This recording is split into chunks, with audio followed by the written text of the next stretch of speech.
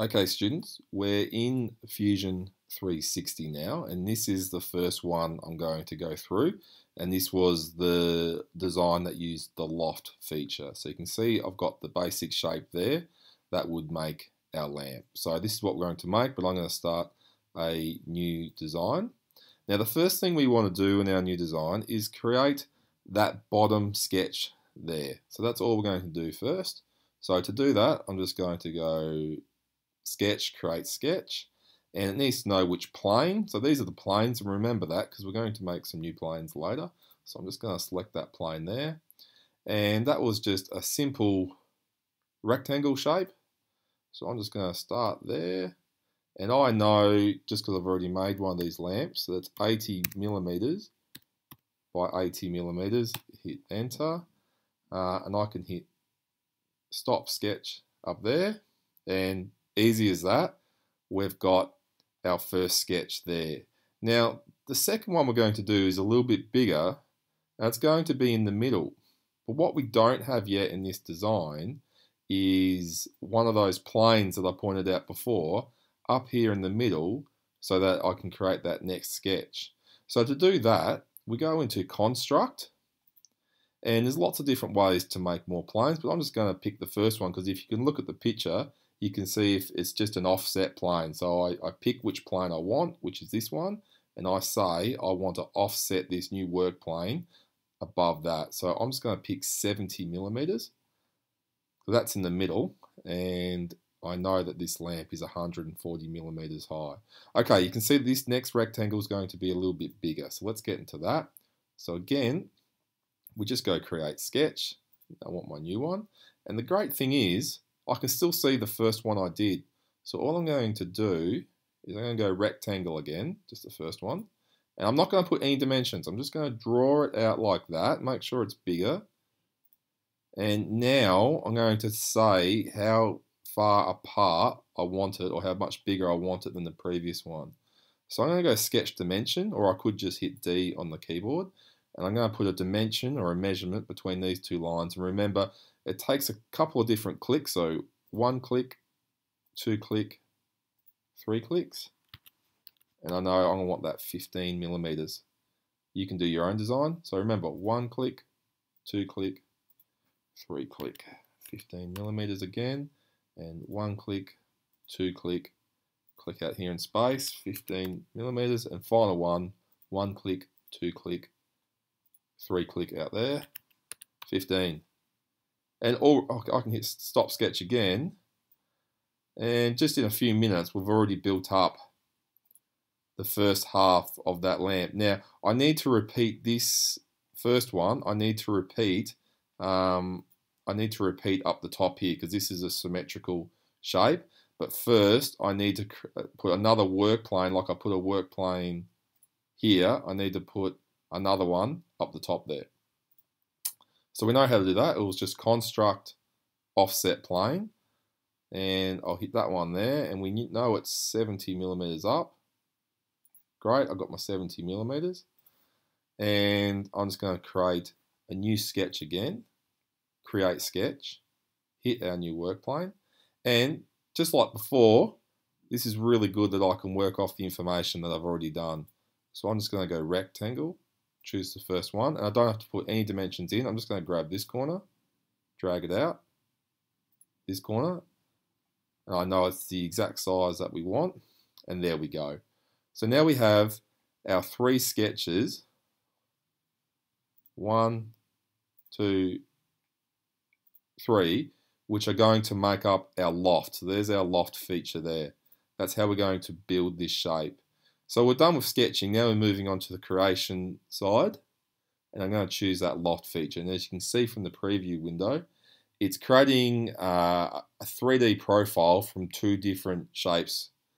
So, or here in our case, we've got three. So it, want, it needs to know which shapes we want in our loft. So I'm going to choose one, two, and notice this one, because it used that information from the first one, I just need to click it twice, and three. How's that? That's pretty good. Lots of different features here. You can play around with them if you want, but I'm happy with this as a new body. So I'm going to click OK. Now, Uh, let's just go back to the PowerPoint. To build our slice lamps, we're going to need it hollow in the middle. We're going to need to shell it out on the inside just to give some room, the light to travel between the very different layers. So each one of these layers should be hollow in the middle. And you can should be able to see that there as well. So I'm just going to show you how to do that feature. And that is we've created our shape. Now we need to modify it and we can see shell there. And if you look at the picture, it's exactly what we're going to do. We're going to say take our, our solid shape and hollow out the inside. So it needs to know what to keep. So I'm going to say keep that face um, open.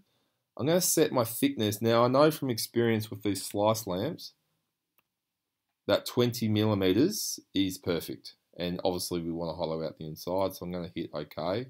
And if I move there, it's, it, it might be a bit hard to see, but uh, that has shelled out the inside uh, uh, in a uniform shape. Now you can see it. So you can see it curves around with the profile. So that was um, that was the shell feature. So the three main ones I used there was the sketch for the rectangle, offset offset plane to create our different planes, and then the loft feature, which was in create, to make our 3D body, and then just to shell it out at the at the end, I used the shell feature 20 mil thickness to get that shape in the middle. Okay, now we'll move on to creating this shape here. So before we used the loft, now we're going to use the revolve feature, which will, I'll just go back to the PowerPoint. So this is the one we've done already. Now, which keeps our corners. Now we're going to take this profile shape here and spin it 360 degrees in order to create that shape there. So that's the example I've got there. If you can see if I click there, you can see it's already hollowed out. Um, I'm going to create um, a new shape here. And I just need one sketch this time. So I'm going to go create sketch. Um, and what I'm going to do is I'm going to draw just these three lines here. So sketch and now line, or you could just click L on your keyboard. So first one down the bottom, I know is 40 mils across. And I want my lamp to be 140 140 millimeters high. And then I'm going to do one more line so I'll hit L. And I'll make that 25 great okay so I've got that basic shape there see how it says 40 millimeters there go back to our PowerPoint that's the 40 millimeters there because this spins in a circle when it's finished, that base at the bottom of the lamp will be 80 millimeters.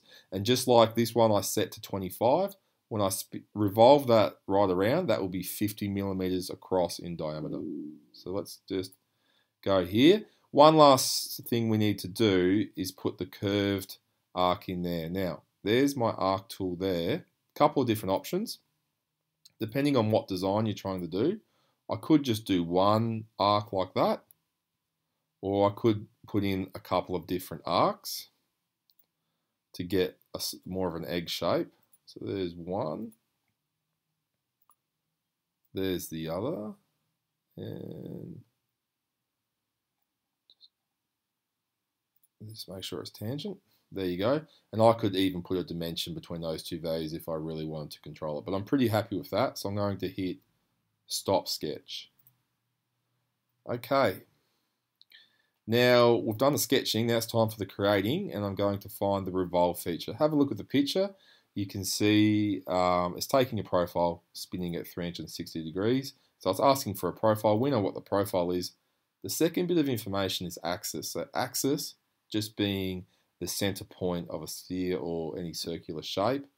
So, and I want this, because this is the, this line here is the this line here is the center point of our lamp. So let's choose that as our axis. And there we go. We've got it um, straight away.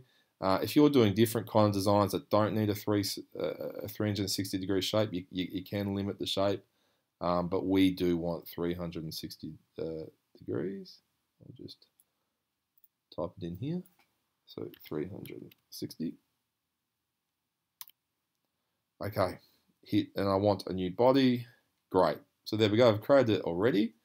Um, but just like on this design, we need to shell the middle because we need the light of the LEDs, which will be down the bottom, going in between each layer. If we don't hollow it, the light will stop at the at the first layer.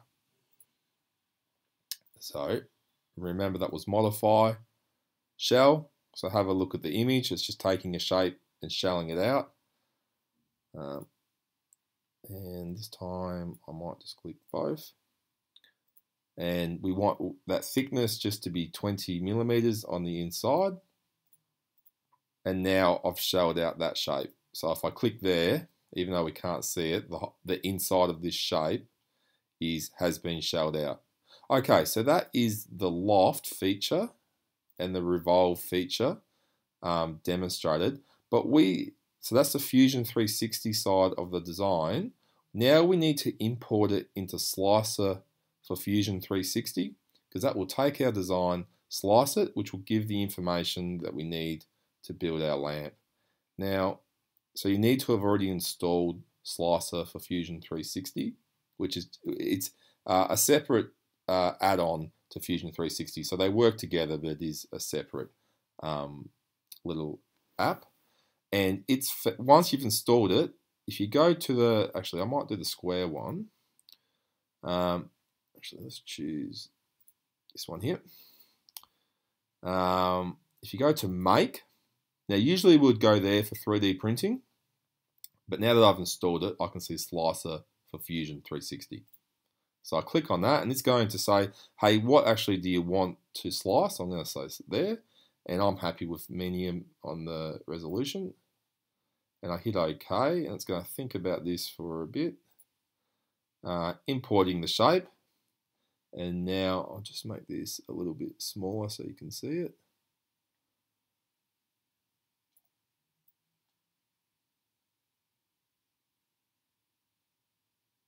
Yep, there we go. Okay, so here's our shape. It's still, it's still um, as it was when we left it. We need to tell um, Fusion 360 how we want to slice it, and there's many different ways. Um, we could go stacked slices, which are just slices on top of each other. Uh, not going to help us with a lamp. We could do interlocking slices. Okay, looking a little bit better. But the one we're going to use for our lamp is radial slices. So you can see radial slices there. And radial slices being um, these go around um, in a circle like that, pointing all to the middle. Okay, getting there, that's not too bad, but I know that if we'll try to make this, there's many different slices, um, probably too many slices. So what I'm going to do, see on the first axis, it says there's 10 layers going uh, from top to bottom. From my experience making a lamp, let's just change that to 8. So you can see I click that down to 8.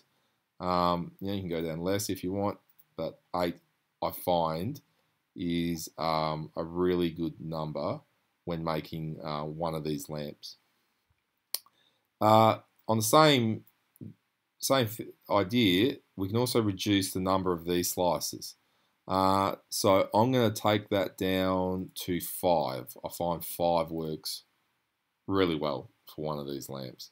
As I keep doing this, you'll see these pages over here. Uh, that's each one of these is actually one of the slices, and you can send either this information here to either a laser cutter or just a normal printer if you want to print it out on paper to cut it out on, uh, from our flute board. Okay, so I've got the number of slices I want, um, both um, this way and the stacks. Just a bit more information. It's currently in inches, so I'm going to change that to millimeters. Um, and I don't know why it does this. It always changes the height. So here it says 203, but if you remember, when we did it in Fusion, it was actually 140. So I'm going to change that to 140 millimeters and hit enter. And all the rest will update as well. And you can see I've actually reduced how many pages this is going to print to, just because it's it's back to its proper size. Now, depending on what printer you're using, I'm using A4 paper, so I'm going to change the uh, paper to A4.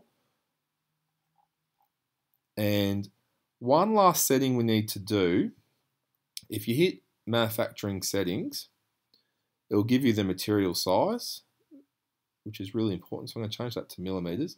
Now, this we don't, the height and width we don't change because that's our A4 piece of paper, but the thickness is really important. Uh, if I just, uh, we need to make sure, I've got mine set to 4.5, which is right for me because that's the thickness of my fluted board. But the offset, I'm going to change that to one millimeter, which just changes the offset um, in between the slots, which will mean our fluted board will go back together, uh, will assemble nicely. Um, it, that will depend on what kind of material that you're using. And the final thing we need to do is just to Get Plans. So I'm going to hit Get Plans. Um, and because I'll be printing this on a printer, just a normal 2D printer, I'm going to make PDF. And you can either export that to your computer or print that. Once we print that, we can cut that out to make up our lamp. Um, if you're using a laser cutter, you would have to export as DXF, and the laser cutter will read that um, read that file. So just to sum everything up, um, we used both the revolve feature and the loft feature to build our shape. Once we were in Fusion 360 and had the shape we want, we went to make slicer for Fusion 360. In the software, I'll just get out of this, uh, we had to make sure that we had the right paper size. We had to make had to make sure we were using radial slices as our construction technique. I'm recommending that we have eight layers stacked up with five radial slices at the top. Um, and under manufacturing settings, just make sure you have the right, oops, sorry, you have the the right um, thickness and and slot thickness as well. There we go. So the right thickness for the board you're using and an appropriate offset to make sure that they all go together um, correctly. Okay, uh, enjoy making your um, slicer lamp in Fusion 360.